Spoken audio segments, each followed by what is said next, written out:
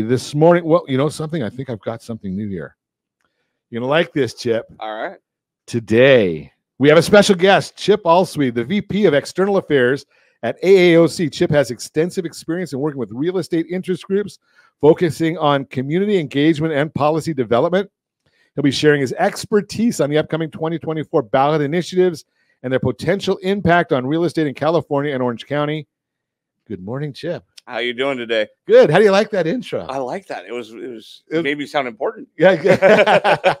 Jeez, uh, we might have to listen then. I know. So, what's going on? Is there anything new going on in the world of uh, real estate and initiatives? And Yeah, there uh, there's always something, as I'm sure you're well aware. Um, one of the biggest things that we're coming up on is we're hitting the deadlines for when cities and the state can get their ballot initiatives in for what we're going to see in November. is that when they can get them in, or is it the time when they get them in and the uh, the Supreme Court still has time to get them off? Well, yeah, we did have that come up last week. Uh, for any of you that aren't familiar, we did have a ballot initiative that was qualified by signatures, got more than it needed, uh, that would have limited the ability of cities and counties to raise taxes unless it met a higher threshold.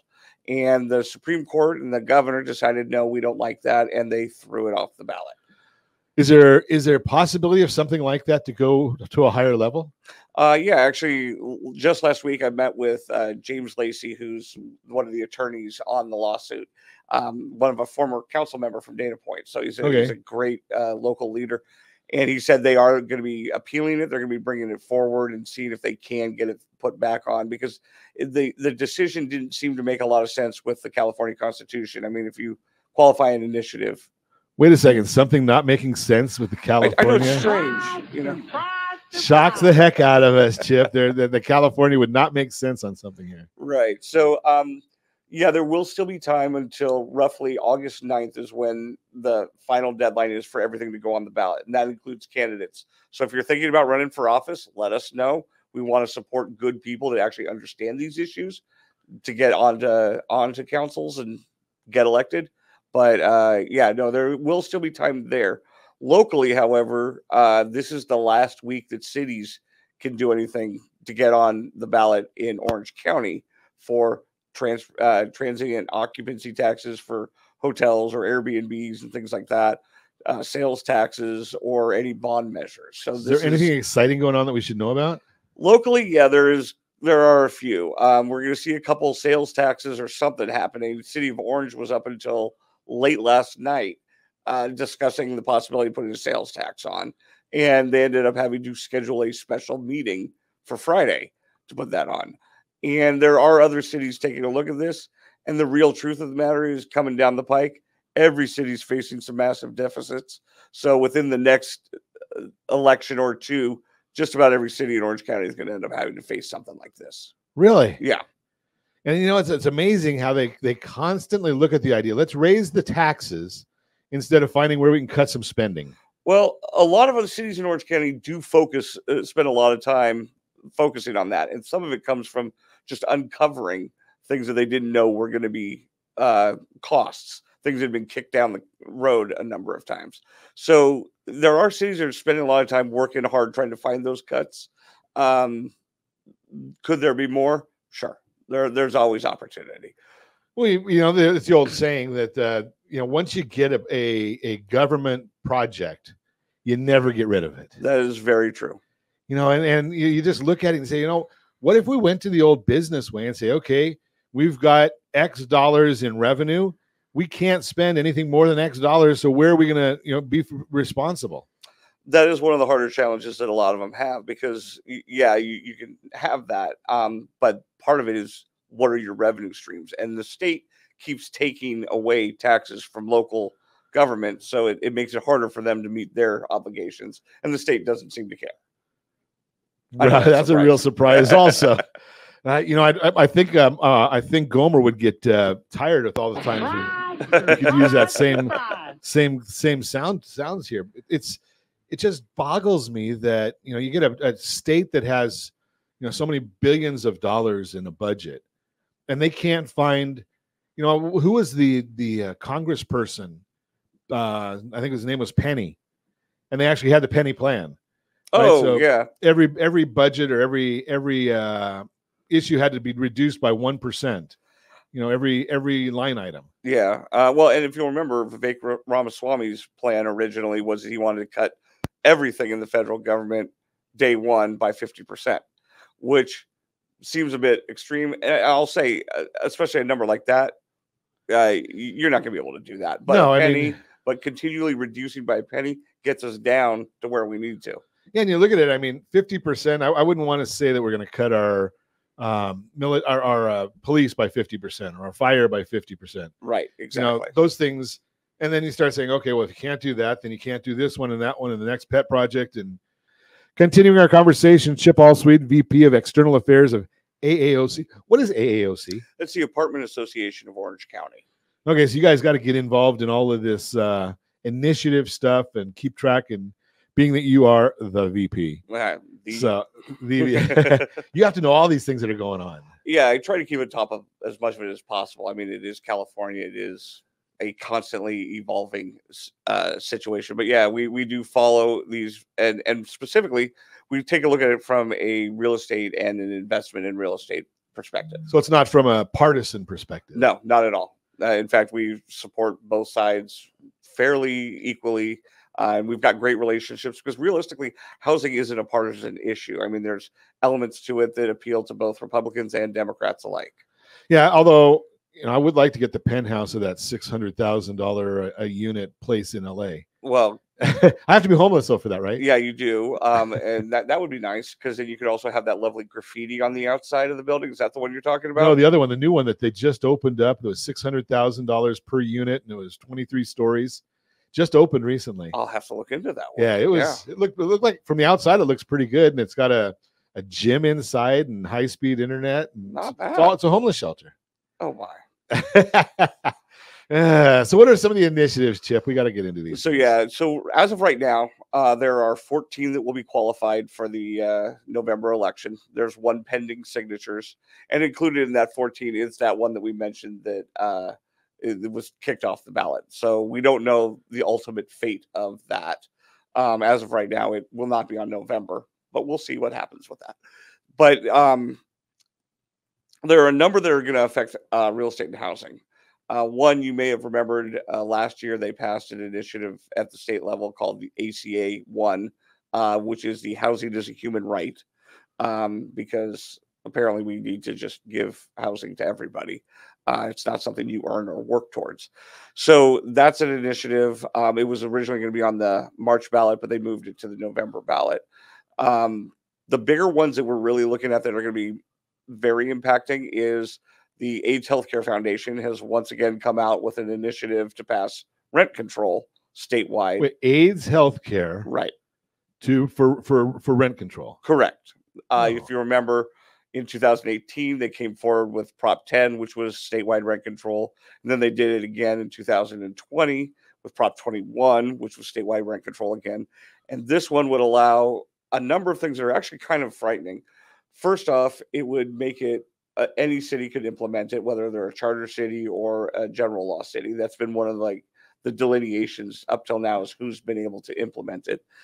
But it also takes away the Costa-Hawkins protections, which protects single family homes from being subject to this. So if you have a single family home that you're renting out, it would be fall under rent control. And the most insidious of it all is the concept of vacancy decontrol. It's not really a conversation we have down here in Orange County very often because nobody has it. But effectively, if you're renting your unit out at a thousand dollars a month and the tenant moves out, normally you bring that up to the market rate. Right. This would say no, you keep it at that rate forever. That's crazy. It's also what keeps over 100,000 units off the market in New York. And it's why there's about 50,000 in the city of San Francisco not being rented out. So when we talk about affordability and all those issues, this is exactly where it comes from because a constrained market keeps people from having housing. So why would you even want to? I mean, we're already seeing in Los Angeles that people don't want to to uh, get involved in any kind of of uh, investment properties. Absolutely. Most of the people I know are taking their money, taking it out of state.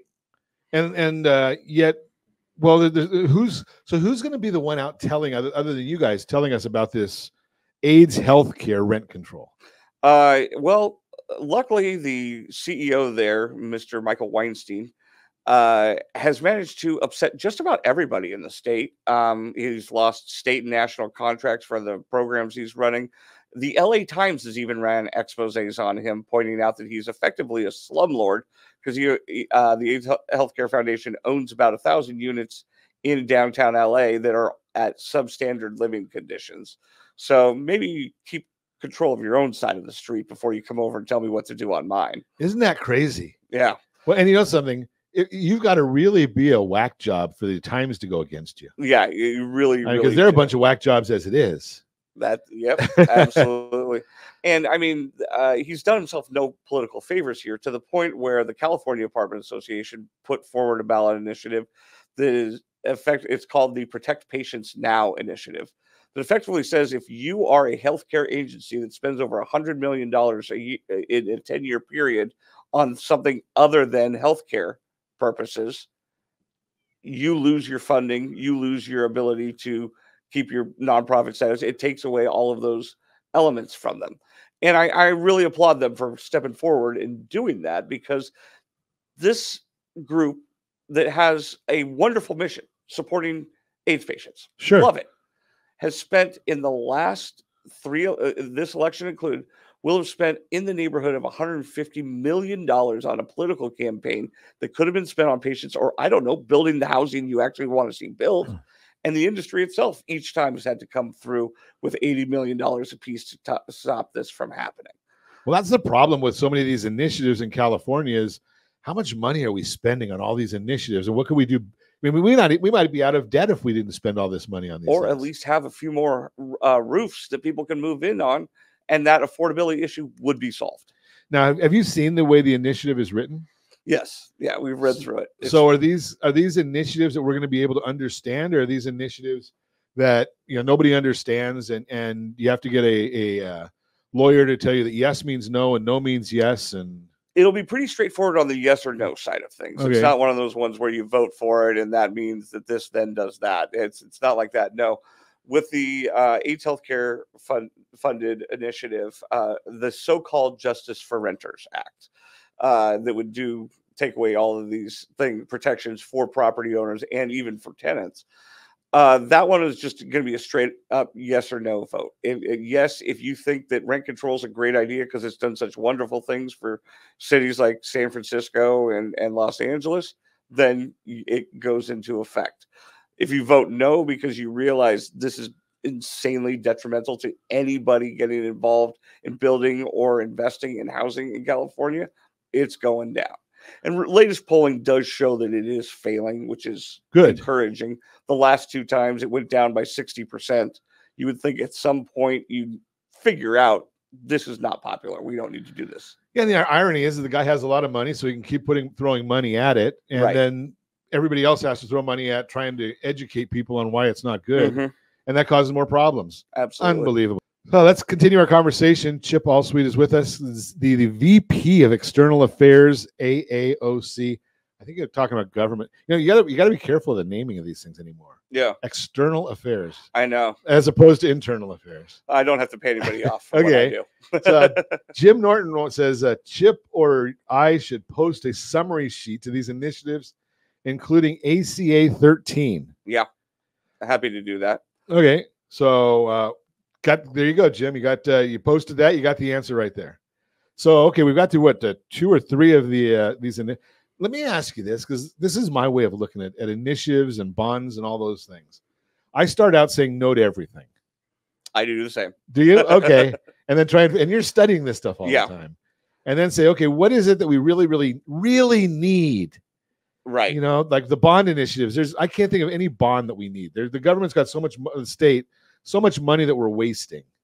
I think you can look at a lot of what we've done recently, and, and I think that the government has done a poor job of making sure that we understand what we're voting on, that we've voted for things because it says, oh, it's a water uh, bond. And that sounds great. Of course, we want to have clean water and all that, but it's not always going to those purposes. Well, we never have a water bond. We have a, a bond that's going to benefit senior citizens, or a bond that's going to benefit the education of of kids, which we do a crappy job of.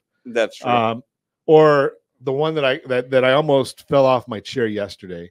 110 million dollars that the US is sending to Haiti. yeah. You gotta love these. Well, let's get back to California. Yeah. What else do we have going on in California? So there are other initiatives that are going to be on there. Um, a lot of them, you know, uh, to your point about I always vote no, it, or start off from a perspective of no. I, I think it's a wise choice because often we're asked to vote on things that why why would the average citizen know anything about this? That's why you well, that's why we have representative government. We have someone there to learn the issue and re- uh, elect vote for us. But you got well, I know the answer to that question. It's because we don't trust the California government. I wish that were the case. More often than not, these initiatives are brought forward by an interest group that wants to get their perspective through and can't get it through the legislature. So the initiatives are bad, and then we can't trust the the the legislators. Yeah. Aren't we lucky in California? Well, and if you look at it, you know, an elected official has kind of an impossible job. It's understand how everything out there, all elements of the economy, all industries are affected. but they got what? How many dozens of people on their staff, and then they get At the federal level, yeah, they do. At the then, state well- level, you got a couple, and then local, most cities, they've got nobody other than the city staff themselves. okay. So it, it, it's it's hard. You're having to trust effectively bureaucrats to tell you the truth. that's we know that's not a good idea.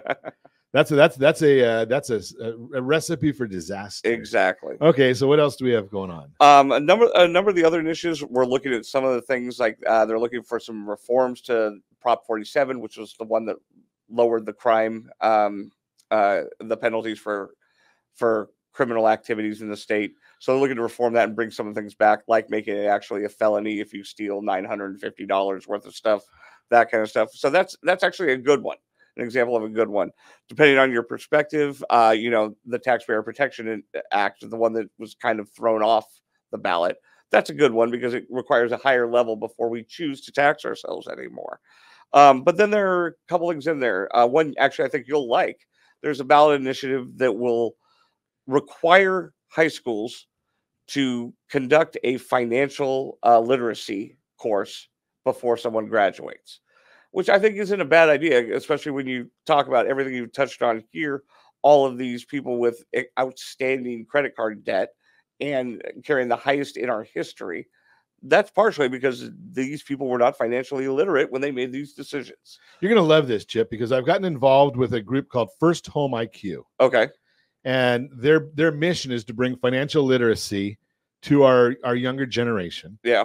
and kristen messerly is is their director there and she studies the gen z and millennials and with like 6000 she has surveys like 6000 people every year to come up with their knowledge base and, and what they're thinking and their thoughts are and she came out with this quiz that that we we we uh, uh, promote and you can go to rsrlinks.com slash fhiq rsrlinks.com slash FHIQ. Would you like to take a wild guess at what the the uh, the the grading is on this? And it's an easy it's an easy easy test, but take a wild wild guess of what you think might be their their uh, success rate or the or the score the average score. 60%. Wow, you're good. It's actually 57. wow. All right. 57 is the actual is their score on it and you look at it and you say what are we doing as as parents educating the and and schools educating our kids when they're getting a 57 on on the test Well, how how many how many parents actually talk to their kids about finances? I mean, I do occasionally, but I don't go into depth on it. now i will be i will uh, throw out there that uh, josh got a 100 on it so he did it and he, got, Nice. he got a 100 so if you want information on on uh, financial literacy just talk to josh because he's he's got it there well done. yeah i mean but you know something it's it's amazing how many people just they you know when, when i was in school we used to have to carry nobody does a checkbook anymore Right. right we had to carry those checkbooks Yeah. around and pay our bills and our mortgage or our rent Or the original the bank account pass yeah uh, book you had. Yeah. right yeah they don't do that anymore No, no. But I'll say, you know, I've got one uh, one son who's just turned 18, and uh, he's managed to sock away. Just graduated high school. He's, he's managed to sock away about four thousand dollars just from working since about November. So even though I say I haven't necessarily taught them great financial literacy, I got one that's clearly doing great with it. yeah that's beautiful Yeah, you know he'll be able to to go and get his own house or car or something. Continue on that. I think he definitely will be that one. He's he's a Huh. absolute spendthrift. I mean, he just he, he's better than me on, on a lot of it, in a lot of ways. So yeah, Good stuff. yeah. Um, when it comes back to the initiatives, you know, there's a lot of different things out there supporting this, that, and the other thing. We have one. There's always an initiative. It seems that I feel like we as citizens shouldn't be voting on. My favorite one of all time was uh, whether or not when a horse dies, if that could be used in animal food consumption, because apparently that was a common thing. I've never owned a horse. I've never raised a horse. I know nothing about horses other than what they look like. And I've ridden a few, and it's fun. But asking me as a voter to decide how that animal is disposed of is kind of crazy to me. Last time I got on a horse, you know what? You know what I heard? What's that? Guess I can't get the soundboard to work. Yeah, that I was the same. So we're gonna have to we're gonna have to have you come back again, Chip. There's so much of this stuff to going on. We're gonna have to put that list together so we can uh, get a, a a sensible voters guide through Ron Siegel Radio. Absolutely.